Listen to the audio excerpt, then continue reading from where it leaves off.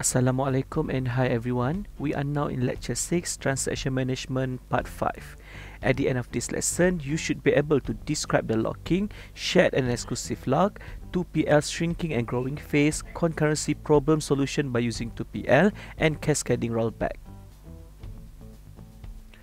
Serializability can be achieved in several ways there are two main concurrency control techniques that allow transactions to execute safely in parallel, subject to certain constraints, locking, and timestamp methods.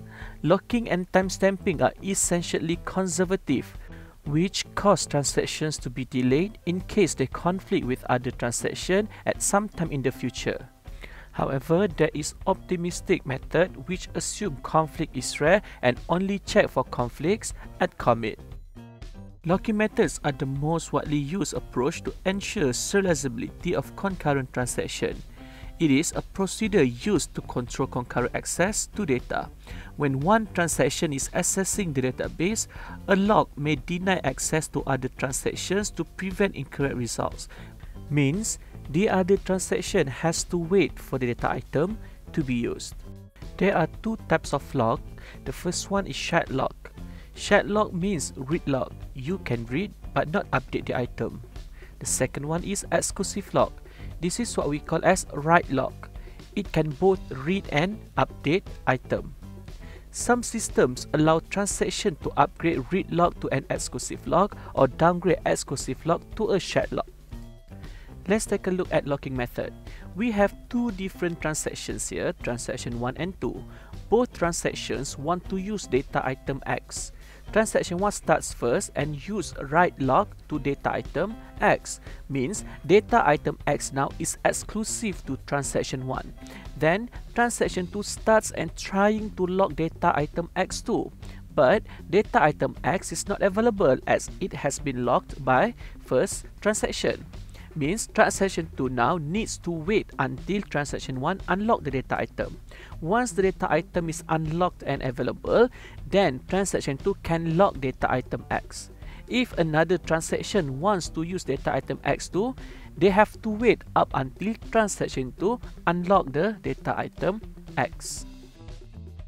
Even though locking method can prevent some concurrency problems, however, sometimes this locking method has its own weakness. Let's take a look at this example. Both transactions trying to display value x and y. The transactions are done concurrently since transaction 9 haven't finished, but transaction 10 can start. At the end of transaction 10, it displayed x equals to 150 and y equals to 200. But at the end of transaction 9, the transaction 9 shows x equals to 150 and y equals to 250. We have the same data items, but why does it have different values? This is because transaction 9 released lock too soon. What does it mean here? Using this locking method, you can lock another data item after unlocking the previous data item. If you keep lock unlock lock unlock the data item, this could lead to non-serializable schedule. Hence, it defeats the purpose to achieve serializability in transactions. Hence, a modified locking method should be used, which we call as two-phase locking. To avoid the problem of previous locking method, in two-phase locking or which called as 2PL, there are two different phases being introduced.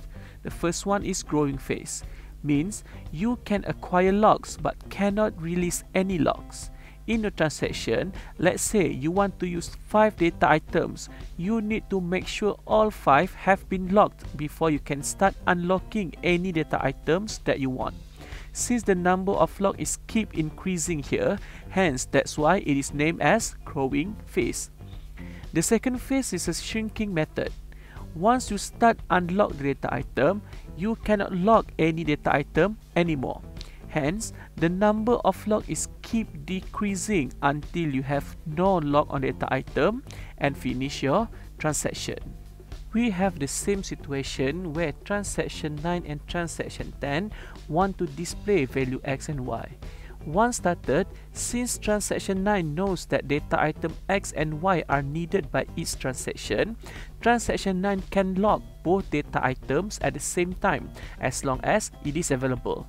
If your transaction wants to lock data item one by one like transaction 10, it is also allowed in the system.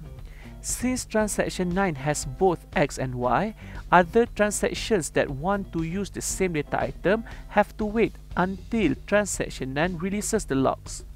As I said, transaction can unlock all the data items that it have at the same time, or the transaction can unlock it one by one. But remember, once the transaction starts unlock, it cannot lock anymore. If the transaction wants to use another data item, new transaction must be made. Based on this 2PL method, both transactions displayed the consistent value of x and y, which is 150 and 250.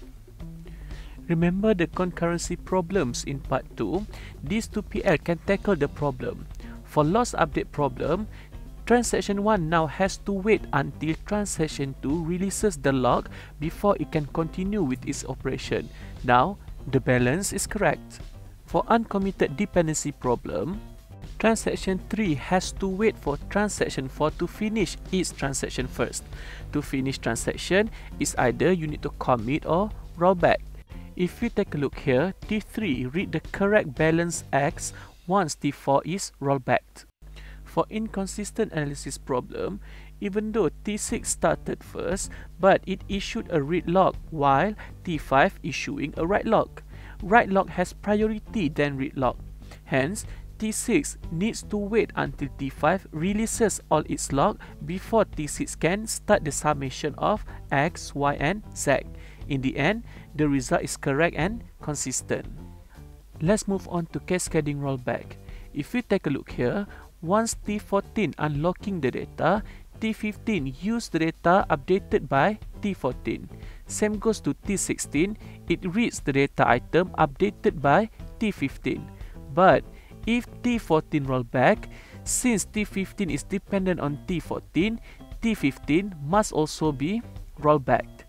Same goes to T16, it is dependent on T15 then it too must be rollbacked.